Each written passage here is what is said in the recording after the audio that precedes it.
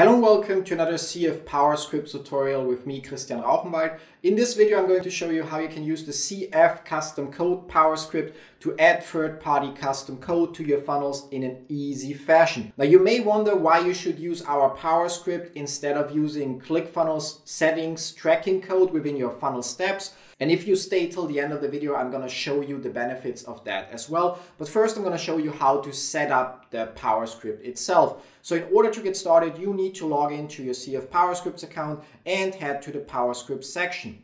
There you can either add your custom code globally if it should be applied to all of your funnels, or you can only add it to a funnel, funnel step, or funnel page specifically.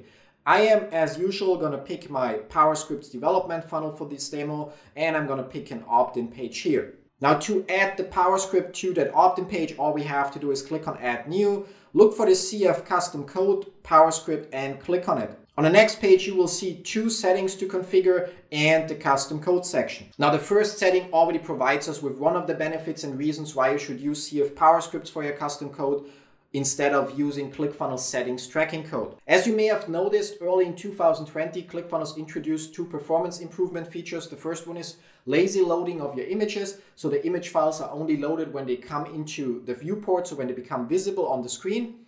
And the second one is asynchronous loading of JavaScript, which means that JavaScript files, the script files that are used on the ClickFunnels pages, are loaded with a little delay to improve the loading times and your Google page speed scores of your funnels. Now, as soon as you use those performance features, any kind of jQuery code, so that's code that contains things like dollar, bracket, some CSS ID, and so on, will not work properly anymore because the code that you add within settings tracking code or within your funnel settings in the header or body tracking code section is executed before the asynchronous JavaScript has loaded. Or to put it in other words, it's like you trying to eat your lunch before cooking it. And that's where CF PowerScript and especially the add to global scope setting comes into play.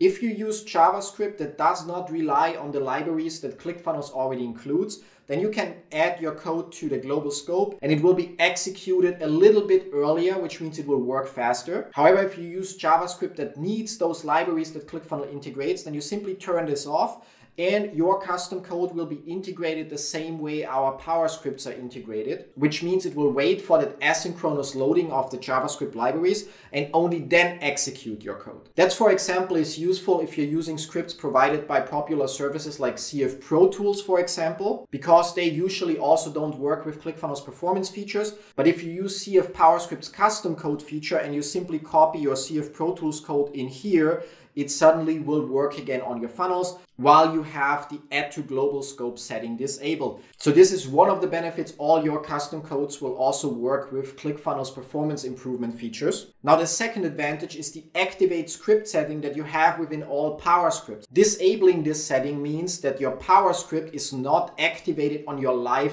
funnel pages. It will, however, still work on your preview funnel pages.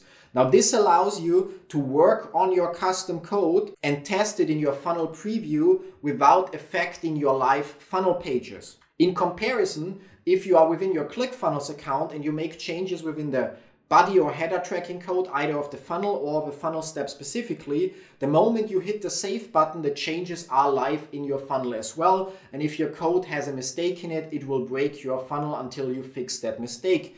Whereas if you use CF Power scripts and you add your code here and you simply disable the script, you can test it in the funnels preview mode without affecting your live conversions. Now, additionally, there's another difference. The code editor that we use within CF PowerScripts also has syntax highlighting like the ClickFunnels editor. However, it also comes with a basic debugging, which means when I have an error in my code, like here I'm closing a bracket twice, although I already closed it before, then it shows me that there is an error within the code. In that case, that it was expecting some, something else instead of the bracket. Now for this demo, we are going to add a simple alert to the page. Alert hello. And we're gonna click add script. Now, if you noticed, I did not activate the script. So if I click on this icon and we open the live funnel step, nothing is happening. However, if we open the preview funnel step instead, it will show us the alert that we just created. Now, the moment we go back and we edit the script and activate it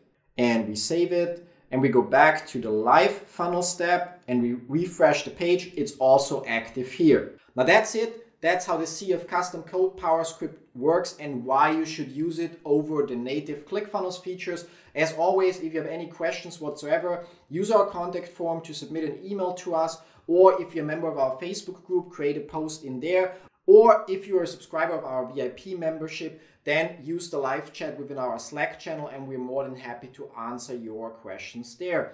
As always, thanks for watching and even more so, thanks for using CF PowerScripts. See you in one of our other videos. Till then, bye bye.